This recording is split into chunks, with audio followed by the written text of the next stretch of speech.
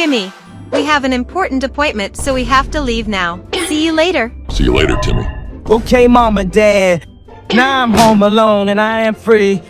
Well, I wanna do something entertaining. Oh yes, think I know what to do. I'm going to watch YouTube shorts. My students are all morons! I am super smart, but they are stupid and quitting right now! What the hell? Why is he complaining about his students in social media? Because of.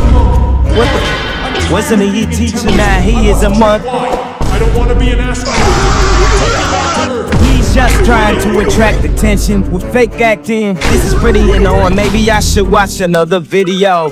Everyone, I am at my grandmother's funeral. I will sing a song for my grandmother.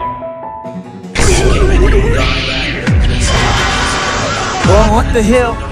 What is going on with you YouTube shorts? Wasabi mongwort soup with Skittles. This is what I eat for breakfast every day. You look so disgusting.